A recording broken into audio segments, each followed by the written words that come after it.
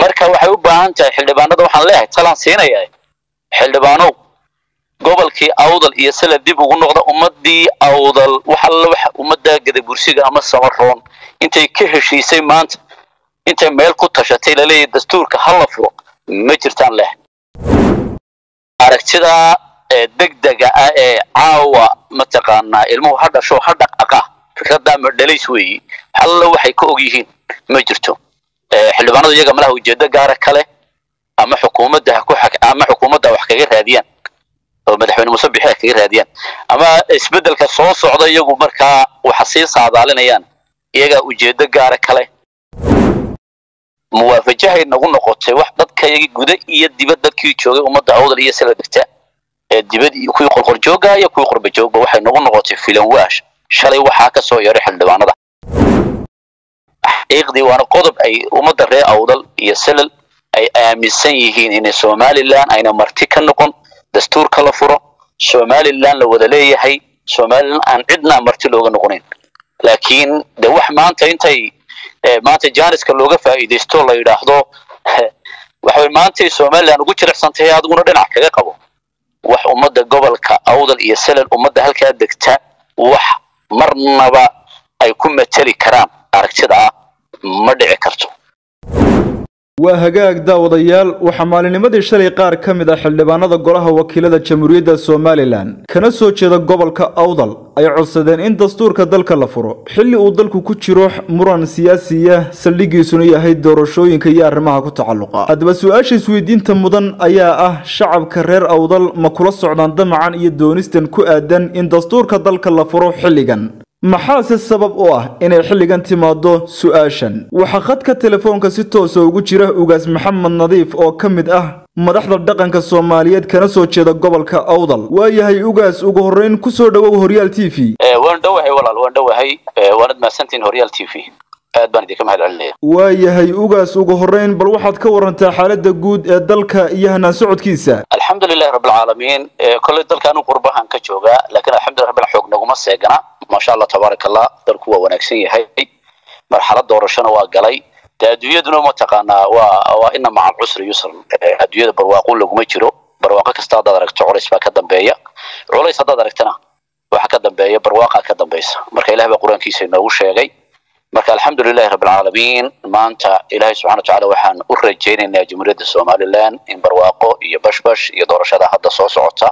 Si qurux badan oo nadiif ah oo sidii weligeed ba ahaan jirtay caadada u ahayd ee geeska africa ku hogaaminaysay qorisku dhiibka ahaa ee dimuqraadiyadda lah ah inaan insha allah ay u dhacdaan rajaynaya haddii allah uu dalo ogolaado markaa barwaaqo iyo bashbash ayaan u rajaynaya ummadda jamhuuriyadda somalilan siyaasiyiintana waxaan leehay dalka iyo dadka ummadda u tudha aad madaxda u tihiin ha loo tidho isjijiidka faraha badan leh ha laga ilaaliyo intaasaan iyagana siyaasiyiinta odhanaya waan idin salaamaya waayahay ugaas maalinimadii shalay qaar ka mid a xildhibaanada gobolka awdal oo gobolka adna aad ka soo jeedid ka mid ah waxay codsadeen in dastuurka dalka la furo xilligan oo murankii doorashadu taagan yahay. Sidee kula muuqataa ugaas adiga? Wallahi xildhibaanadu maasha allah tabaaraka allah de waa xildhibaanadeedii waxaan u qadarin waana nagu matalaan. Waxa weyn aad bay wixii kolley iyaga aragtidooda iyo kolba waxay isweydiineen xor bay u yihiin laakiin dee waktigan maanta jooga xaqiiqdii hashumaanka iyo gadayma maasaar bay liqday buuri. Marti soomaaliyeed ba ahayd.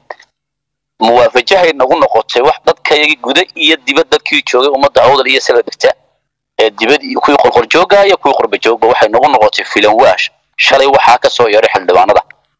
Sababtoo ah dee beri sababtidaa la leeyahay waa la ansixinayaa sidaan xogta ku hayo ama xeer arrintaa la gudagalaya dee waxa sabtida la gudagalayo khamiis ee jimca kaa xigoon weliba la shaqaynayno maalin fasaxayd ilmo markuu dhasho ma dhaqaaqo.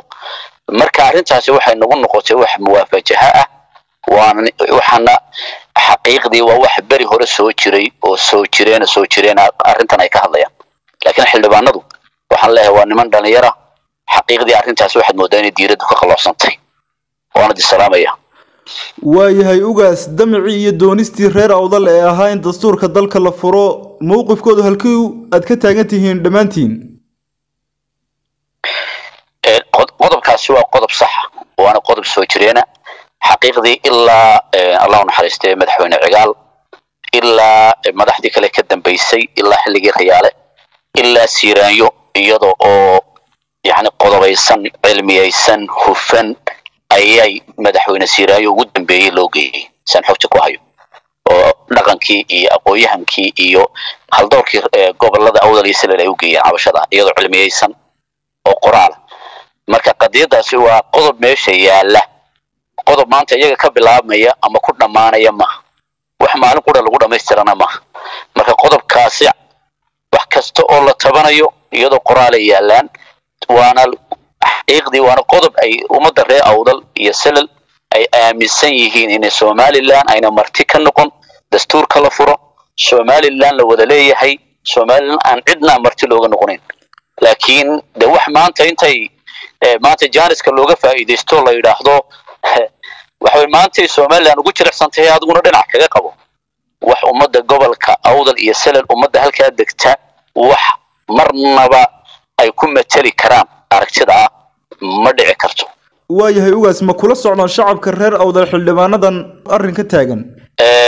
Maya hadda kuma wada kuma wax ka dhexeeya maanta. Oo xildhibaanada iyo gobolka awdal arrintaa ay khamiistii ka dhawaajiyeen waxay kula socdaan malaha arrintaba dadku anay kula muwaafajahay ku noqotayba waxaan la filayn kule waabay ku noqotay.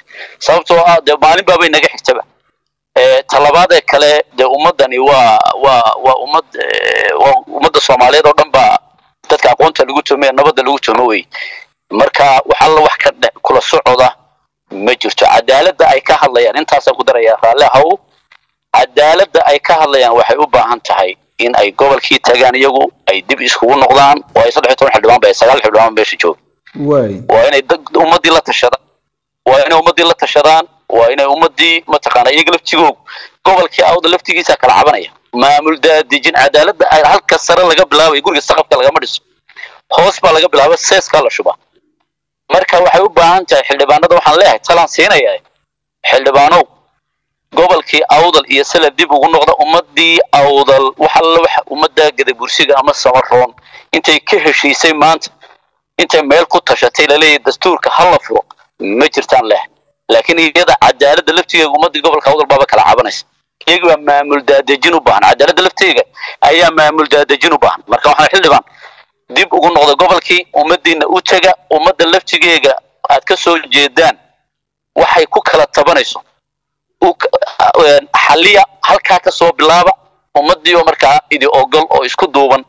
Idinku markaa wixii aragtida fariinaad gudbinaysaan u gudbiya aragtida degdega ah ee caawa mataqaanaa ilmuhu ha dhasho ha dhaqaqa fikraddaa ma dhalays weeyi alla waxay ka og yihiin ma jirto. Xildhibaanadu iyaga malaha ujeedo gaara kale ama xukuumadda ha ku ama xukuumadda wax kaga raadiyaan oo madaxweyne muuse bixi ha kaga raadiyaan ama isbeddelka soo socda iyagu markaa waxa sii saadaalinayaan iyagaa ujeedo gaara kale wax haba yaraatay ay ka og yihiin ma jirto. Fikradaasaan qaba anigu waayahay ugaas waxaan joognaa guntii iyo gabagabadii waraysiga. Maxaa xidhiidha ka dhexeeya arrintan iyo shirarkii dhowaan uga socday qurbajooga reer awdal dalka dibaddiisa? Alxamdulilah rabbilcaalamiin waa su'aal wanaagsan walaal. Waa su'aal aada u munaasiba. Wax alla wax ka dhexeeya ma jiro. Ummaddan ama xildhibaanada waa reer somaliland. Dalkay joogaan golaha dejinta waa la soo doortay. Kuwaasina waa qurbajoog waxaynaan shaqaba ku lahayn. Iyo aragti kala qaba. Marka shaqo iskuma wax alla wax ka dhexeeya haba yaraatee ma jirto. Waayahay daawadayaal wuxuu ahaa ugaas maxamed nadiif oo ka mid a bahda dhaqanka soomaaliyeed kana soo jeeda gobolka awdal. Waayahay ugaas aad baan kaaga mahad celinaynaa wakhtigaaga qiimaha leh aadna siisay mahadsanid aad baan idinka mahad celinaya adiga iyo bahda horyaal t v iyo ummadda jamhuuriyadda somaliland. Meel kastay ku nool yihiinba waxaana ilahay uga baryaya subxaana watacaala barwaaq iyo bashbash. Assalaamu calaykum waraxmatullahi wabarakaatu